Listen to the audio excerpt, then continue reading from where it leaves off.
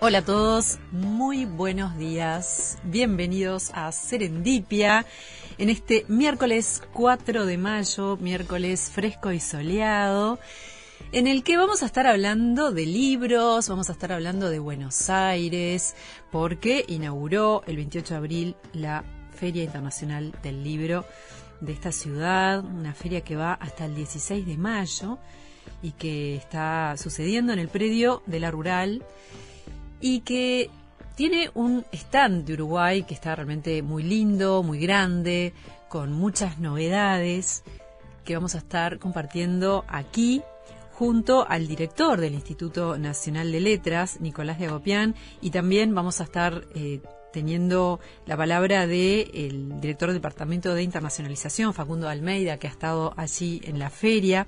Y vamos a hablar de otros temas también que tienen que ver con el Instituto de Letras, con muchas acciones que se están tomando en, este ámbito de la literatura. Eh, bueno, muchas novedades que está bueno comentar eh, para que se enteren, para que se presenten, para que, eh, bueno, puedan sumarse a un montón de iniciativas. Eh, vamos a estar hablando hoy también de ballet, porque hoy toca la columna de ballet de Ana Rosa Rodríguez y como saben estrenó el jueves pasado el ballet Pájaro de Fuego, una reposición em, como bastante novedosa para el ballet. Eh, ya nos va a estar contando Ana Rosa porque no es en realidad totalmente nuevo, pero sí en esta versión a mí me impactó mucho, lo pude ver el día del estreno y me pareció realmente impactante, con mucha vibración, con esa música de Stravinsky, eh, muy, muy, muy, realmente muy fuerte y, que realmente moviliza. También una paleta de colores increíble y bueno, la maestría del, cuerpo de baile del Sodre que realmente es destacable. Vamos a estar conversando con Ana Rosa en la segunda parte del programa. Vamos a entrar en clima con Buenos Aires, con Piazzola, para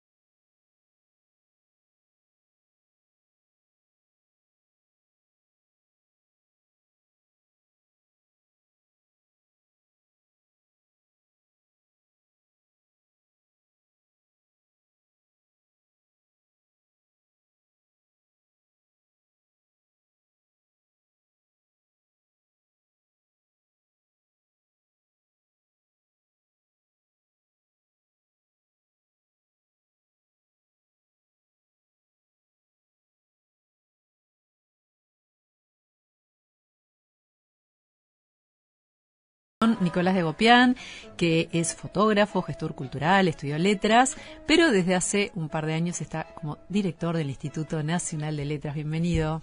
Bueno, muchas gracias por la invitación, Malena. Es un placer estar acá en Serendipia. Igualmente, y bueno, vamos a hablar de la Feria del Libro, pero otros temas también. Empezamos con esta exposición tan importante para Uruguay, eh, que bueno, que es una, una vidriera para las letras uruguayas entre otras cosas, ¿no? Porque esta feria también este, se armó un stand que un poco alberga también otras otras divisiones más allá de las letras. Contanos un poco. Sí, la, feria la feria internacional del libro de Buenos Aires es un gran evento cultural que reúne a un variado público internacional. Hay expositores de renombre.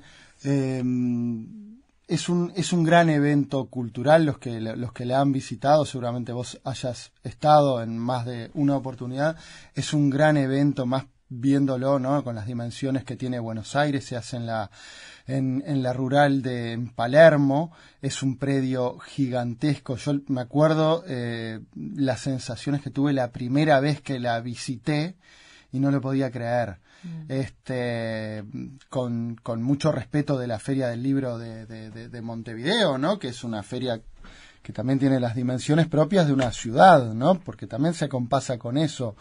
Eh, y claro, ¿no? Es, es, un, es un evento que, gigantesco que va desde, empezó el, el 26 este, de abril. ¿no? Eh, no, bueno, el del 26 al 28 son las jornadas profesionales. Ah, claro. Este, que bueno, ahí estuvo, estuvo representado el instituto por, por, por, por Joana, Joana Pelufo, que es nuestra encargada de internacionalización. Y bueno, ella viajó con la delegación uruguaya. Este, la Cámara del Libro participa en el stand con la venta de, de, libros, fueron los, los libreros, el, fueron, viajaron ya el, unos días antes para, para, bueno, para armar el stand. Este, fue un, un armado que llevó, que llevó mucho tiempo, pero sí, el 26 comenzaron las jornadas profesionales. Es importante estar, es donde se generan los, los negocios, los intercambios, es importante que los, que los editores participen de, de esas jornadas y claro, y el 28 es cuando se abre la feria al público y está abierta hasta el 16 de mayo. Y bueno, y nosotros lo que hicimos, gracias eh, con el apoyo, bueno, con el apoyo de otras instituciones, obviamente, entre ellas el Ministerio de Defensa, que nos cedió el Hércules, el avión Hércules, que es el, es el avión ese que todos este, conocemos, para llevar los libros, para que puedan viajar los, los libreros. El, el, bueno, también fue el, encargado de internacionalización, que es Facundo de Almeida, que vamos a escuchar un audio, un audio de él. Joana Pelufo, bueno, todos viajaron en, el Hércules con los libros. Es, un esfuerzo conjunto. Es un esfuerzo conjunto y, gigantesco. Este, obviamente tiene el, participa la embajada de, de, Uruguay en Buenos Aires, participa en, Argentina, ¿no? Participan este, muchas instituciones, colaboran eh, para que esto pueda llevarse adelante. Uruguay 21. Es un, es un evento de una magnitud que precisa la colaboración de muchas instituciones. Este año es un, es un stand bastante grande. Sí, es un stand que tiene 64 metros cuadrados y en ese stand eh, obviamente eh, hay venta de libros que como te decía está a cargo de la, de la Cámara de la Librería, se, arma una librería, se hizo una convocatoria para, para los libros, para la venta de los libros, para llevarlos, y hay libreros, eh, y por otro lado tiene un espacio al que denominamos China Zorrilla, porque este año son los 100 años de, de, China Zorrilla, que, que, bueno, que es una, una actriz icónica, ya no diría en el Uruguay, en el Río de la Plata, ¿no? Este, bueno, y una forma de homenajearla era creando este espacio China Zorrilla que permite la presentación de, libros que, bueno, las editoriales este, se presentan para, para participar. Esto además de eh, la participación de los escritores uruguayos en actividades eh, oficiales de la Feria del Libro, que esto lo organiza la Fundación El Libro de Buenos Aires, y actividades, mesas redondas con escritores uruguayos que esas mesas temáticas están curadas por el Instituto Nacional de Letras, por la Dirección Nacional de Cultura. ¿Cuántos escritores viajan? Bueno, viajan 20 escritores en, en estas actividades este, oficiales, entre, entre las actividades de la Feria del Libro y las actividades, las mesas redondas. Viajan 20 escritores, viajan otro tanto en la delegación por porque bueno, porque también hay, como te decía, las, las editoriales se presentan para participar de este espacio China, China Zorrilla y bueno, este es un espacio que además se da en la, en la, en la feria, que todo el público que pasa este, puede asistir a las charlas. puede asistir a las charlas y es también una manera de, de generar convocatoria en, en, en, un espacio, ¿no? En, un stand. Bueno, Facundo Almeida estuvo ya allí, podemos escuchar eh, lo que nos cuenta sobre todo este movimiento y, lo que está sucediendo. Claro. Buenos días, eh, Malena. Bueno, muchísimas gracias por la, por la invitación para participar del programa. Eh, te cuento un poco sobre la, la llegada a Buenos Aires y la, participación, el inicio de la feria que, comenzó hace unos días, la Feria Internacional del Libro de Buenos Aires. Este, bueno, pudimos este, participar allí en forma conjunta, estamos participando allí en forma conjunta entre la Dirección Nacional de Cultura y la, y la Cámara Uruguaya del Libro, con distintos apoyos, ¿no? Por un lado del Ministerio de Turismo, de, Uruguay 21, del Ministerio de Defensa y la Fuerza Aérea, que hicieron posible que que viajáramos, hiciéramos el traslado de, cerca de 4.000 libros para, para, presentar en el stand de Uruguay. Y, por primera vez Uruguay se, se presenta con, con, un stand propio grande de 71 metros cuadrados, eh, con un diseño que, que, hizo el equipo de, de, infraestructura cultural de la, de la Dirección Nacional y que realmente ha sido muy, muy celebrado por, por las autoridades de la feria, por el público y en general por, por este, también los, participantes que, todos los años van a la feria y que este año se encontraron con, con un stand de, Uruguay grande y, este, aparte muy, muy este, vistoso dentro de la feria. ¿no? Así que eso es un, primer elemento que me parece interesante mencionar. Por otro lado, la cantidad de, escritores y artistas, ilustradores que van a participar de la feria, entre aquellos que, que lo hacen en el marco de un llamado que, hizo la, Dirección Nacional de Cultura eh, y otros este, escritores que algunos de ellos que residen en Buenos Aires y otros que van a participar de mesas y de actividades oficiales de la feria. En total van a ser 52 los representantes de Uruguay que van a estar a lo largo de estas, de estas tres semanas que dura la feria. Todos los días va a haber una, una actividad de Uruguay, en algunos casos dos y en otros tres actividades por día. Y, también por primera vez Uruguay participa de la totalidad de las, de las actividades oficiales organizadas por la propia Feria del Libro de Buenos Aires. Entre ellos, eh, Pablo Casacuberta va a dar una de las, de las tres conferencias magistrales de, de, la, de, este, de este gran evento cultural que, que se hace en Argentina. los primeros días están demostrando una, un dinamismo, eh, diría, similar o incluso mayor a, a lo que sucedió antes de la pandemia. El, domingo, sábado y domingo, incluso el domingo primero de mayo, la feria abrió y eran eh, cientos de miles de personas eh, circulando por ese, por ese gran pabellón en el, en el predio ferial de Palermo, que, que digamos, tiene 44.000 metros cuadrados en los que se despliega la, la feria. Así que la verdad que es un, un este, un gran eh, honor para, para nosotros poder participar, eh, digamos, colaborar y participar llevando esta, este stand del Uruguay a la Feria del Libro de Buenos Aires y es una gran oportunidad para la, para la industria también, ¿no? para los escritores, pero también para la industria editorial. Este, también por primera vez el, el stand de Uruguay va a tener un sistema de, de facturación con posibilidad de hacer venta electrónica, así que eso seguramente va va a incrementar las posibilidades de venta por parte de las editoriales. que están este, allí presentes. Eh, y bueno, y es un, gran evento cultural, ¿no? Son este, más de un millón de personas que, que circulan durante, durante tres semanas. Este, y, Uruguay está en esta oportunidad muy, muy presente, eh, presente en los discursos de, apertura de la feria también de las autoridades. Así que esperamos que tener un, gran resultado eh, en este trabajo, donde también, por supuesto, participó y está participando activamente el Ministerio de Relaciones Exteriores a través de la, de la Dirección General para Asuntos Culturales y de la Embajada de, Uruguay en, en, Buenos Aires, con quien hemos, hemos, estado trabajando en forma conjunta todos estos días. Así que allí están, este, sigue el equipo de, del Instituto de Letras, del Departamento de Internacionalización, ambos de la Dirección Nacional de Cultura, y de la Cámara del Libro y las editoriales trabajando en forma conjunta para, para que el país esté muy bien representado en este, en este gran evento internacional.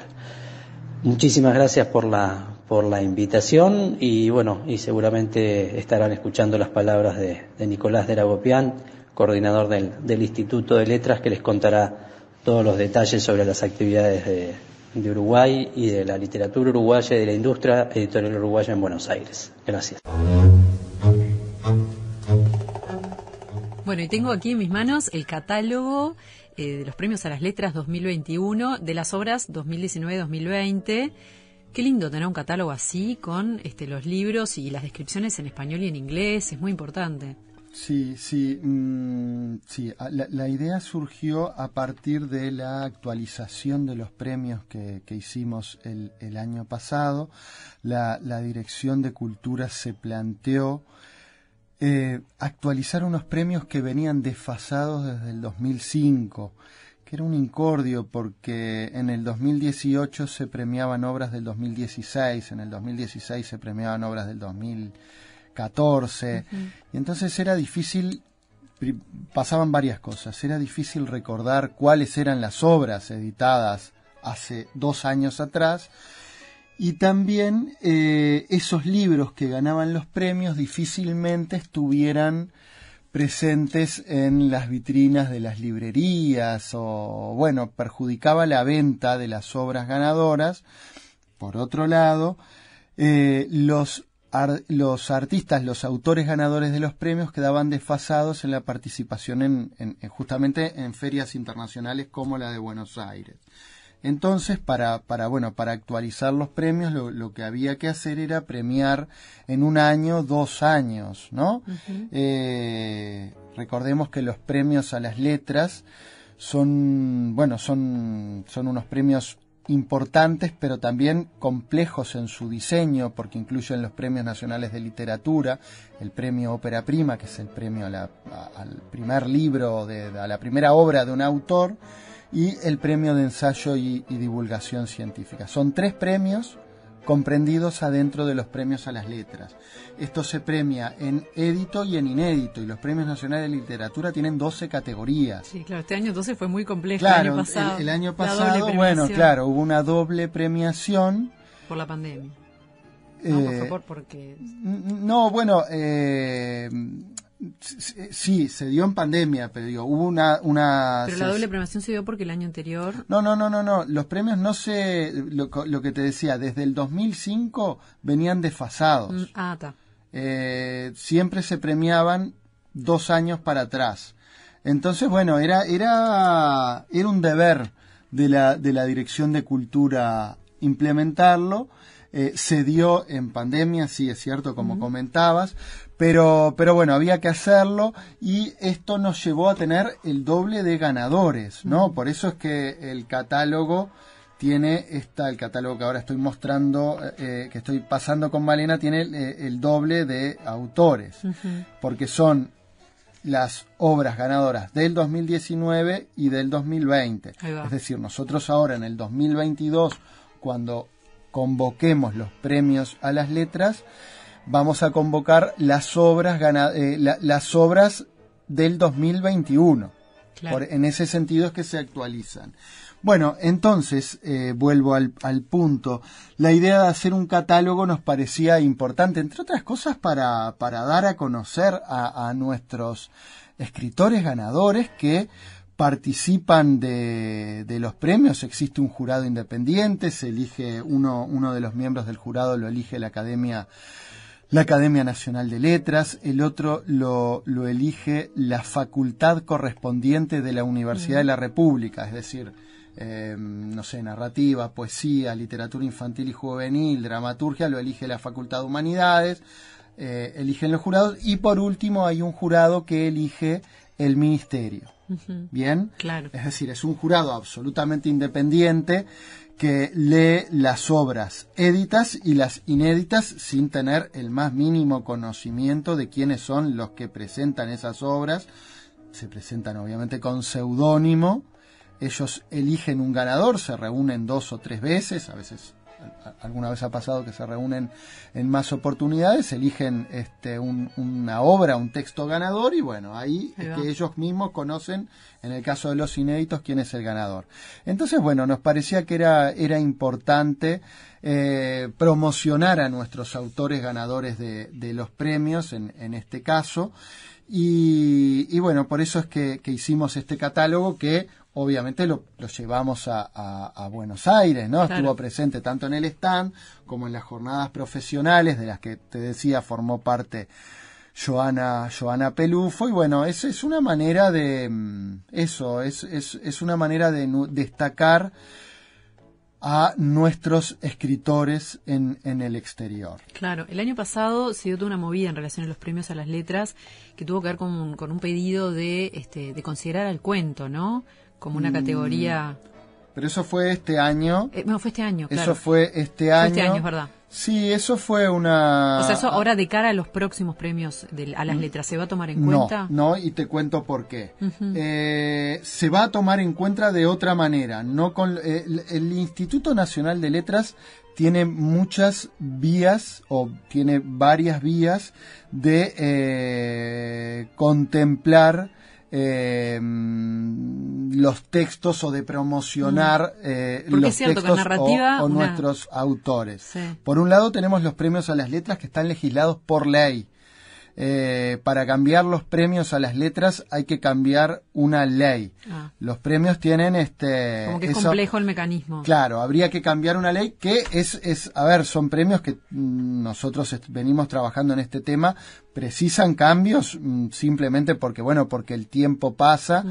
y, y, los premios tienen que ser un correlato de, bueno, de, de, de cada momento histórico. Bueno, sí, eh, tiene algunos problemas. El premio no se reconoce al ilustrador como, como autor, por ejemplo, que eso también nos eh, trae un problema, más allá de que sí, sobre todo en un país que una hay mucha fuerza, ¿no? Claro, en literatura infantil y juvenil, ¿no? El libro álbum. Digo, hay que hacerle varios... Eh, varias reformas a los premios, pero bueno, para eso hay que cambiar una ley.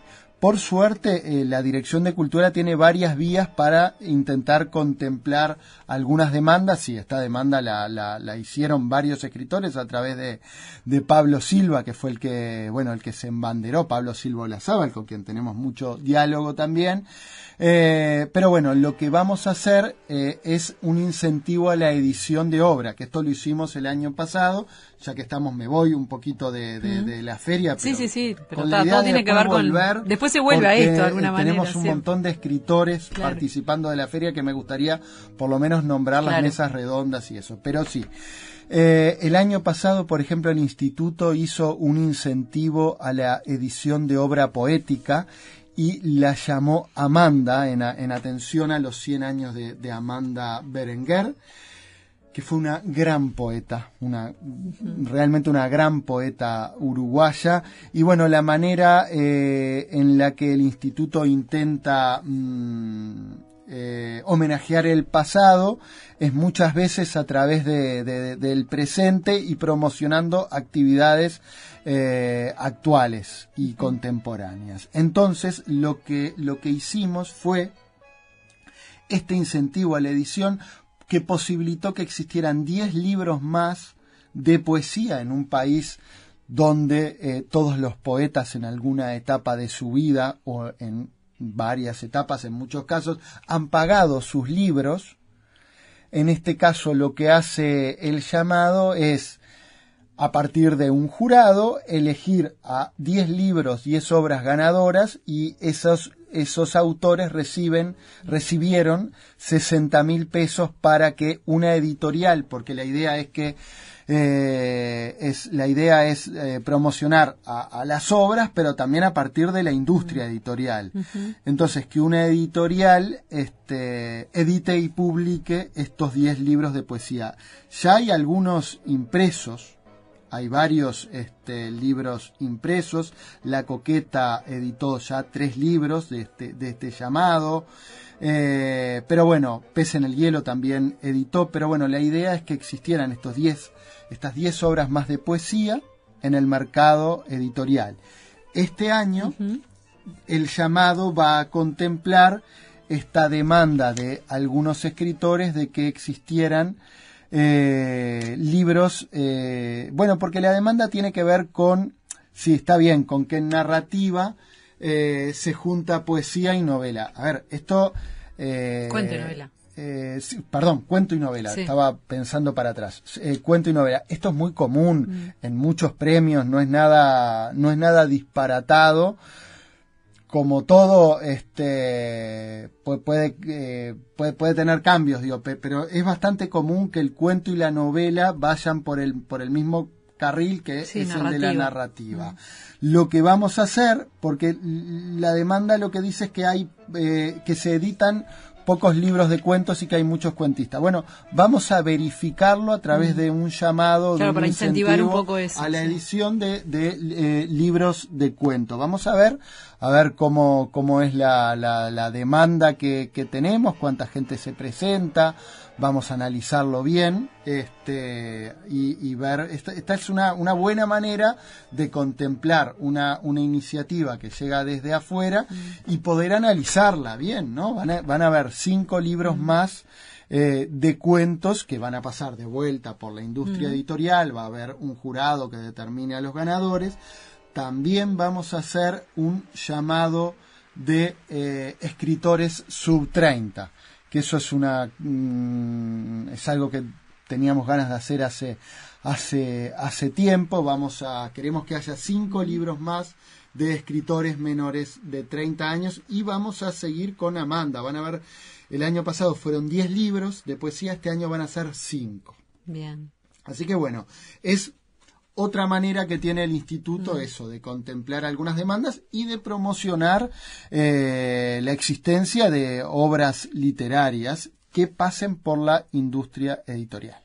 Bien, contanos un poco entonces los, los autores que va a haber en, en la feria. Sí, algunos, algunos está, eh, ya, algunos ya, participaron. Lo que decía Facundo, eh, por un lado teníamos el espacio China Zorrilla en el que se presentaron muchas editoriales con escritores, por eso es que participan tantos escritores. Van las, editoriales por su lado y presentan sus escritores. Por otra parte, el, propio INLET lleva escritores. El, el propio, eh, claro, el propio instituto, mediante mesas eh, de diálogo, lleva algunos escritores y otro tanto participaron en las actividades oficiales de, la feria, que bueno, que, eso son, es en diálogo, se construye a partir de un pedido de, mm. de la Fundación El Libro, en diálogo con nosotros. Y bueno, lo que se intentó eh, para este año, para la selección de los autores, eh, fue contemplar a los autores ganadores de premios, y cuando digo premios, en este caso nos referimos tanto al premio a las letras como al premio Neti. Queríamos que fueran autores ganadores de premios. Intentamos también que fueran autores jóvenes y que fueran eh, autores que por lo general no concurrieron nunca a la feria del libro. La mayoría de los autores es la primera vez que participan de, de, la, de la Feria del Libro de Buenos Aires. Entonces, y ahora te, te, comento, William Johnston, que es este, bueno, es un poeta este, muy, muy reconocido, muy destacado de, de, de, nuestras letras. William ha ganado los premios, los premios nacionales de literatura, diría que ya no tengo la cuenta, pero en varias, varias oportunidades, bueno, William eh, participa este, de, de la feria.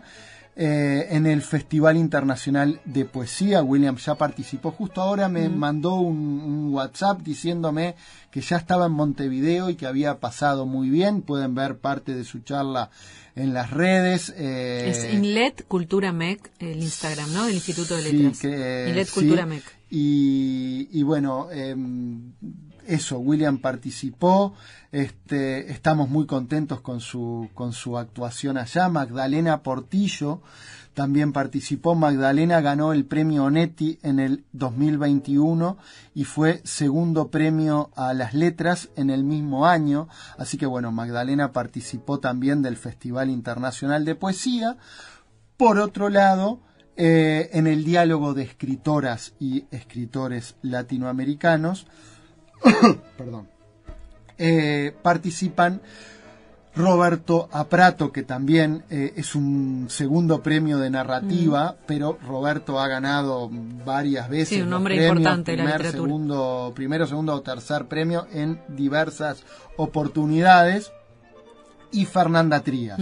Fernanda, bueno, es, es una escritora que, que, vive en Colombia, obviamente uruguaya, pero bueno. Ganadora del Sor Juana Inés de la Cruz, ¿no? El Fernanda ganó el Sor Juana Inés de la Cruz, que es un premio que entrega la Feria del Libro de, de Guadalajara, que, bueno, con la novela Mugre, Mugre Rosa tuvo un, un suceso muy, muy interesante. Bueno, este, Fernanda va, va a participar también en, en este diálogo de, de, escritores y escritoras latinoamericanos. También va a estar en una, en una mesa nuestra. Porque ahora te comento cuáles son las mesas que fueron curadas por uh -huh. el instituto. Este. ¿Que se puede que, seguir desde acá? Eh, sí, sí, sí, sí, presumo que sí. Eh, una de las mesas va a, a ser el, el 8 de, de, el 8 ahora de mayo a las ocho y media de, de la noche y ahí van a participar Martín Lasalt, este, que es el autor de Pichis, que fue una, una novela también que tuvo mm. un suceso interesante, entre muchos otros libros, Carolina Bello, mm. Este, Diego Recoba, que publicó hace muy poquito un libro, y Fernanda Trías. Estuvo por acá, Diego, con el libro ¿sí? El Oso. Ahí está, El Oso. Bueno, este, esta mesa se llama Mutaciones Urbanas, la, la, nueva capital. Y bueno, queríamos un poco juntar eh, autores eh, que bueno, que tienen una, una narrativa urbana, barrial. Estoy pensando ahora en el libro de Carolina, por ejemplo, Urquiza, libro un poco anterior, o bueno, o que, que es un libro que bueno, que, que bueno, está basado en las en la vida de su padre por la por la blanqueada, la blanqueada, el, el, el barrio, la calle uh -huh. Urquiza es una calle sí, de, sí. La, de, La, blanqueada. No está eh, Parque Central por ahí. Exacto, donde está y donde era mi barrio también. Uh -huh. Este, yo nací medio por ahí. Este, bueno, Diego Recoba es un escritor, él se autodefine como como un este como un escritor del oeste. -huh. Muy interesante. Este, Diego ha escrito sobre la Borinquen, ha escrito ha escrito sobre muchas cosas, sobre poesía, mocasines, ha escrito en poesía mocasines blancos.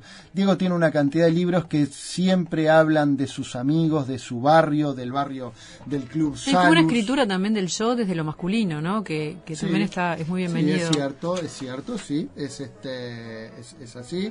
Este, y bueno, Martín Lasalt hizo Pichis, que fue una obra, es, este, es, una, es una novela que tuvo un buen suceso, también fue es este es una historia sobre dos este dos personas que sobre un dos personas una pareja que vive en la calle. Uh -huh. y tengo que ir redondeando. Un poco sí. Pero de esta quedan otras mesas medio rapidito porque bueno, ya otras mesas este eso ellos van a estar después eh, vamos a tener un homenaje a Peri Rossi a Cristina mm. Peri Rossi en el día de Uruguay en la feria del libro este en este homenaje del que no va a participar Peri Rossi porque bueno eh, Cristina no viaja está está en Barcelona está fincada mm. allá hace muchos años obtuvo el premio Cervantes hace muy poco y de en esa mesa van a estar Néstor Sanguinetti, que bueno, que es un estudioso de su obra, sí. además de ser un gran amigo, Poeta, estuvo ¿no? Mm. escritor, sí, muy buen escritor, estuvo ahora ya Néstor este cuando le entregaron el premio, es, es, ya te digo, es amigo de ella, tiene todos los detalles para contar, va a estar Luis Bravo, Romina Serrano, dos escritoras jóvenes, Romina Serrano y Luciana Monteblanco, que ella participó de ERM, de la revista Mm. de periodismo cultural que venimos sacando. ¿Ya la están editando en papel? No, no, no, no, no, no, es una revista digital. Solo digital, ahí va. Este, y estamos contentos con que sea Mm. así digital. Está muy buena, Y muy buena. sí, sí, estamos, la verdad estamos muy contentos con la revista. Bueno, Luciana escribió sobre Cristina Peri Rossi, sobre este, sobre Evoe.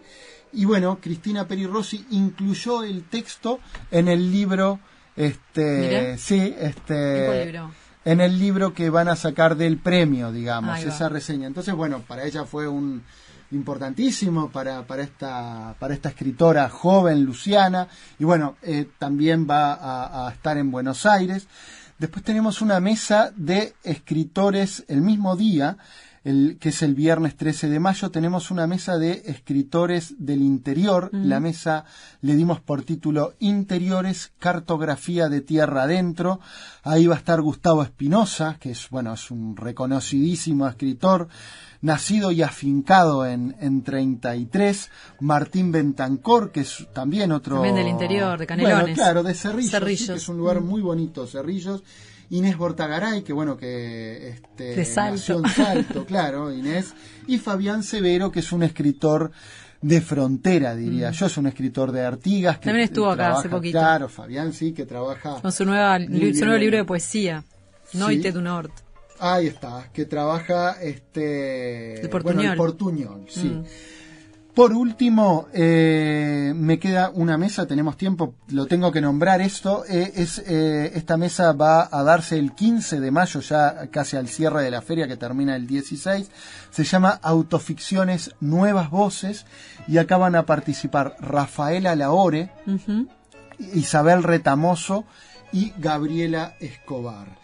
Olvidé nombrar también que Pablo Casacuberta, creo que lo había nombrado en, en el audio Facundo, va a dar una, una conferencia magistral bueno. sobre pensar el futuro. Pablo además es un escritor con, con- con- es un escritor, es un, un artista multifacético, es un documentalista, ha incursionado en la música, en la pintura y bueno, él es el encargado de, de esta charla. Excelente. Buenísimo. Bueno, todo esto nos sirve para, para poder, este, nada, no solamente estar al tanto de las actividades de la feria, sino también eh, estar al tanto de todos estos escritores y seguirlos un poco, que, que, lo que una, a veces no sabe. Yo una amiga me decía, tengo que hacer un regalo a la amiga, ¿qué, qué, ¿qué libro le regalo? ¿no? A veces la gente no sabe qué leer y está bueno estar informado y saber de todos estos escritores y estos libros que, que importan. Nicolás, muchas gracias. Bueno, sí, eso, muchas gracias a ustedes. Hay muy buena literatura uruguaya para leer, así que bueno, adelante, están los libros y bueno, a leer. Y es importante promoverla afuera. Así que, bueno, estén atentos y si van a Buenos Aires no olviden de pasar por allí. Estén atentos y si van a Buenos Aires no olviden de pasar por allí. Estén atentos y si van a Buenos Aires no olviden de pasar por allí. Estén atentos y si van a Buenos Aires no olviden de pasar por allí. Estén atentos y si van a Buenos Aires no olviden de